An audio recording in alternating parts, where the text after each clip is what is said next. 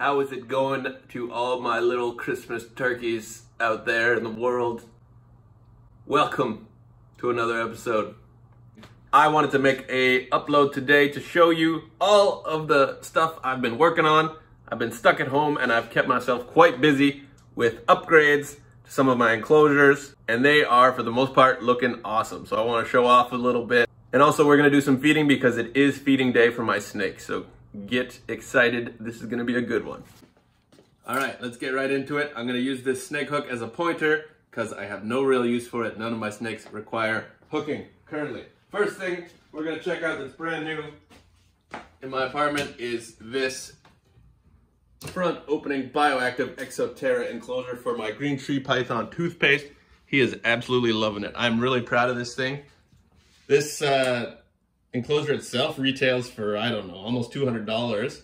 I got it for, actually more than $200. I got it for $100 Canadian secondhand, but it's in like new condition. Uh, we have a drainage layer of pea gravel and hydro balls. Uh, then we have organic potting soil, and then we have cocoa car, cocoa core, sorry, cocoa blocks, and some treated leaf litter. Treated as in I boiled it and uh, baked it to make sure it didn't have anything foreign on it. We got live plants, namely pothos. Uh, this thing, some uh, ferns in the back. And what I'm really proud of is the background here. This is all spray foam that I covered in silicone and then in Coco Car. So it looks very naturalistic. It's one of a kind, as opposed to those cookie cutter styrofoam ones that they come with. I actually have a little bit of a two-dimensional aquarium background in the back, which is usually a no-no, but I think it actually works here. And it kind of creates a three-dimensional depth. Uh, the snake himself has been loving it. Uh, however, when I first started out, I couldn't get the humidity up to where it needs to be. It was hovering at about 30, even with heavy misting. So what I did is I covered the screen top, if you look up here, uh, partly with a piece of acrylic and then partly with and then partly with tinfoil right here. Uh, I also obscured the light a little bit to the right because it was too hot, but by kind of partitioning it like that, I've been able to create the exact temperature he needs for a hotspot right here. And we've also been able to get, if you look here, the humidity is up to 70%, both here and at my other meter up here. And humidity is really important for these guys, so I'm very proud to have been able to make it work. Uh, I think it looks great.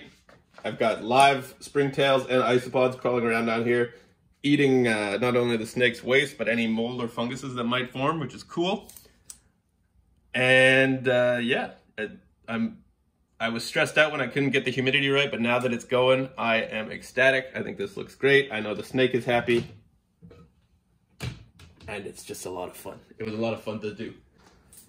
The next thing to check out is the 100% from scratch DIY $0 enclosure I made for Carpuccina, my carpet python right here. This is an IKEA bookshelf made of melamine that I found on somebody's front lawn. And I knocked on their door and asked them if they had bed bugs because that's always a concern when you're taking things off the side of the road. They said no.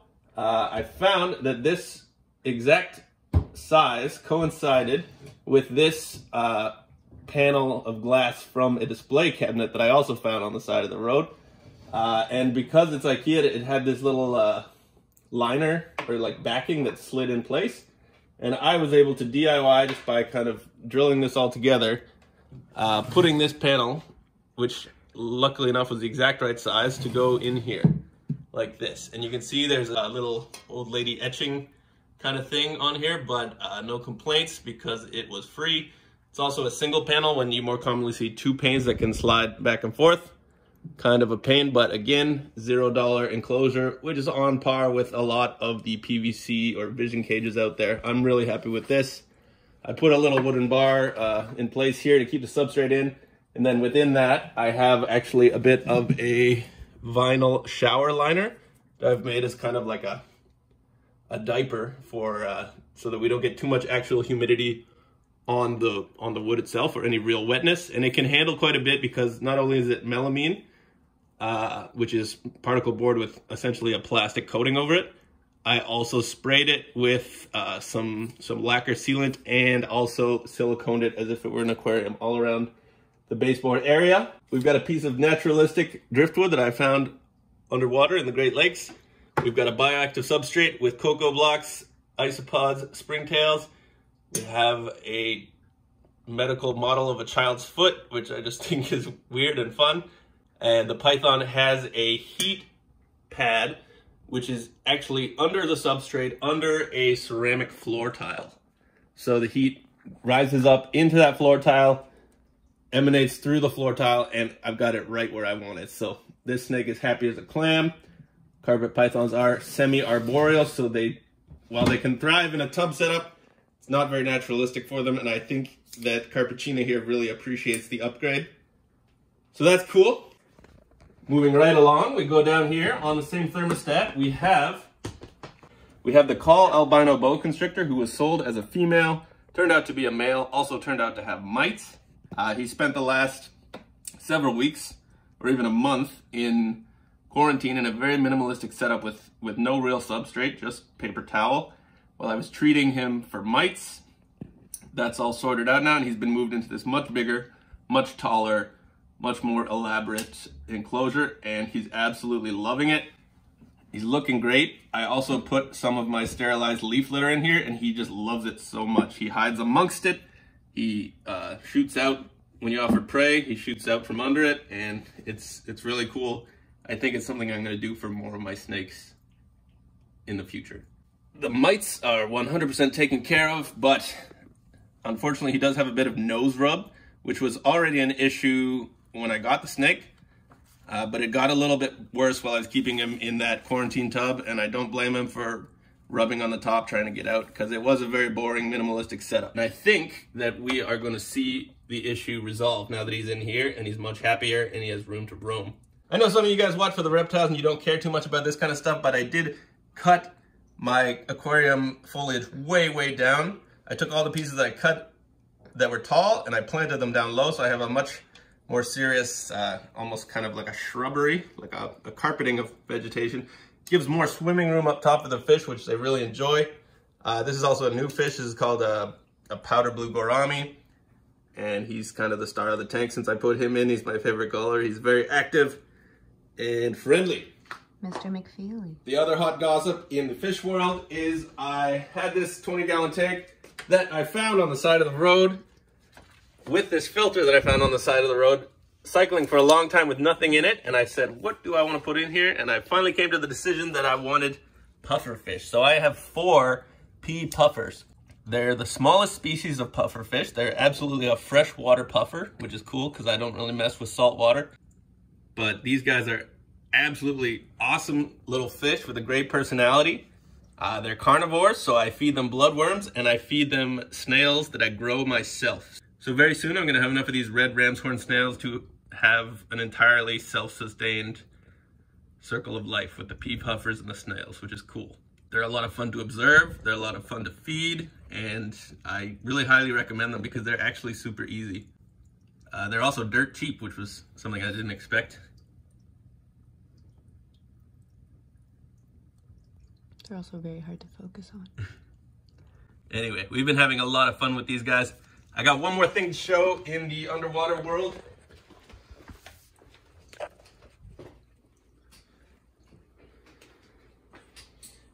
Okay, this tank isn't too much to look at, but here are the ram's horn snails that I was just talking about. These are a favorite food of any puffer fish, uh, and, you know, pure protein. Beyond that, this is a shrimp tank. So it's my snail farm and my shrimp farm. Hopefully you can see him. There's one there, there's one there. These are blue rili shrimp. They retail for about $8 each. Being the genius that I am, I pointed out the two shrimp that I wanted to the pet store guy and he got them for me. Those two shrimp were heavily pregnant. So I beat the system and I got about $58 shrimp for $16. I consider myself a mental giant and that is one of my best trade secrets for you to take home. Look for pregnant shrimp, berried shrimp, they're easy to recognize, and get those thick mamas in your tank as soon as you can. Because it's absolutely the best way to jumpstart a shrimp colony. So headed over to the arachnid zone. I'm very excited to announce that while this front opening Exo Terra retails for 130 Canadian, I got it used for 30. And it's hard to believe, but just two days later, I found an identical matching one on the side of the road here in downtown Toronto. So I guess somebody's pet died and actually I remember it was hermit crabs. It was set up for hermit crabs, a totally stupid enclosure to have hermit crabs in because there's no reason for them to have all this vertical space. They'd be better off with a wider enclosure with more of a footprint. So somebody had hermit crabs probably with their young children. It didn't work out. They just threw this whole thing out by the their garbage area and I saw it as I was walking past. A pretty crazy stroke of luck, if you ask me. I think a lot of people walked past this and didn't see it as anything valuable, but for me, that's $130 and something that I really wanted and needed. So I now have two matching, identically sized front opening Exo Terras for my bugs. I initially only needed the one. I got it for a very good reason, and that is for this new tarantula that I got. This is a very young sling, which is what you call a baby tarantula, of a kind of rare species of tarantula called Caribena versicolor. They come from the Caribbean and they are arboreal. They live in the trees and what's cool about them is they are bright blue. Looks like it's kind of hard to see right now because it's behind some webbing and there's some glare from the enclosure. But one day this guy or girl is going to be big enough to go in here and climb all around it and it's going to look phenomenal. As it stands right now, I've got my Asian forest scorpion in here. You can't really see him, but he's hiding back there. Again, this isn't his dream enclosure because it's taller than it is wide and he's not much of a climber, but no reason to not have him in this beautiful display tank while I have it uh, lying empty. I'm also proud of the custom background I did on this one, again with spray foam that I carved up with a steak knife, layered with silicone, and then blasted with coconut dust. Uh, didn't really work out over here. I'm gonna fix that by maybe hot gluing a little bit of sphagnum moss up there. There's a place where plants can grow here. Like there's a half a flower pot behind this mound. Uh, I've got a little, what do you call, I've got a little pothos in there, but it's not looking too impressive yet. Eventually, I hope to have all these fake plants replaced with real ones. Going over to the second enclosure. Again, a custom background, very simple, uh, blasted with cocoa fiber. There's a couple spots that didn't adhere and I'm gonna fix them. In here we have my Pelma seemanni adult tarantula. There she is there. Sorry to disturb you, girl, but we got to show you off because you're so dang pretty. Um, again, not a huge climber. They don't, they're not really going to utilize this back wall in the same way that my arboreal Caribena versicolor is going to, but also plenty of space. No reason not to keep them in here since I have it. Both these animals would be just as happy in a plastic Tupperware, whatever, but it brings me joy to be able to see them a little bit more and show off my enclosures that I put together. All right, headed over to the snake rack. I want to let you guys know that almost all of the ball pythons that I produced this year, of which there were 11, are sold off to new good homes. I have one, two, three babies left, and two of them are most likely going to stay as holdbacks, and I have the other one leaving tomorrow. So in addition to being a whole lot of fun and a really exciting year-long project, this has been a big success and I did make a chunk of change. I don't mind telling you. Made a little bit of money, which is great in a year where I was severely underemployed and unemployed for much of it thanks to COVID. Uh, it's been a godsend and it's been a really fun project. So, everybody's looking good, everybody's healthy, but there are a couple things I want to show you. One of which is Mr. Friendship. Remember him? He had mouth rot, and by medicating him twice daily, on his first shed, it's almost completely gone. This, that was all a, oh, sorry, buddy.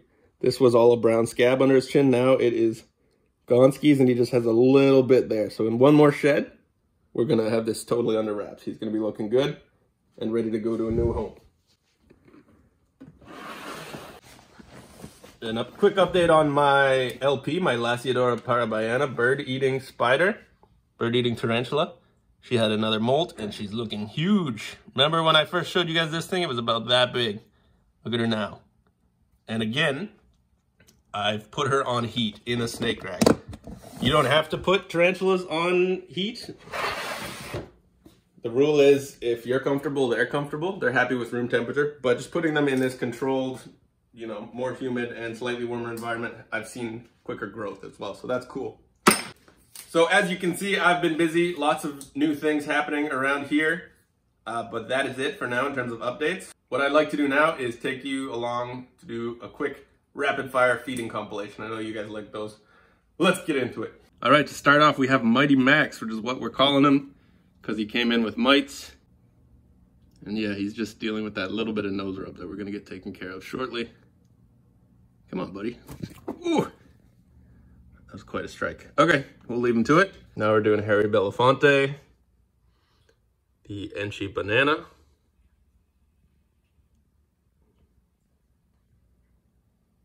Come on, buddy.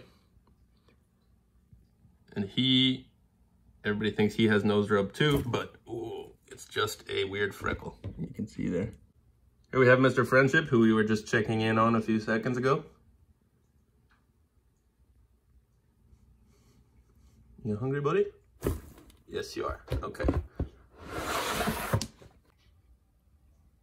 All right, next up we have Stunner, the Sherbert Fly, which is a super pastel fire pinstripe, mother of many of the snakes I produced this year. Well, half of them. Oh, it's a good eater. Uh, you might notice that my prey items are a little bit smaller than they should be, and that is because I bought the wrong size. So a lot of these guys will be getting two, uh, except for the ones that are on a diet. They're, they're just gonna get the one. Excellent. Good stuff. Here we have Big Mama, Mother of Dragons, Pastel Enchi female. She'll probably get three of these. I feel like an idiot for buying the wrong ones. This is a snake that used to only eat live food. She ate live food for a decade before she came to me, and now I've got her eating frozen thawed like a champ. Starting with the little guys. Hey, baby. Oh, that's a defensive bite. I thought we were past all this. There you go. You know the drill.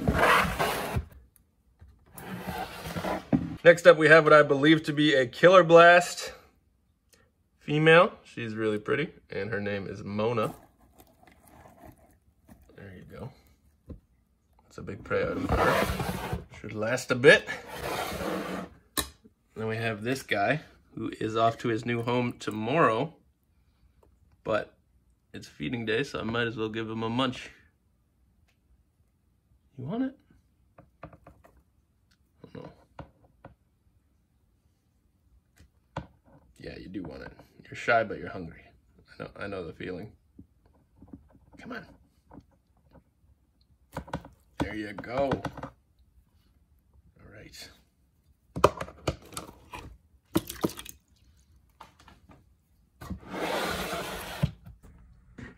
Next up, we've got Carpuccina eating a chick. She got me. Anyway, good stuff.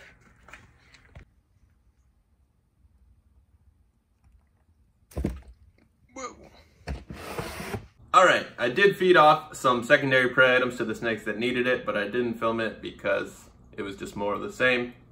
That's it for this video. As you can see, there's a ton of new stuff going on over here. Obviously, I've got a lot of time on my hands to be working on these hobbies, and that is definitely the case.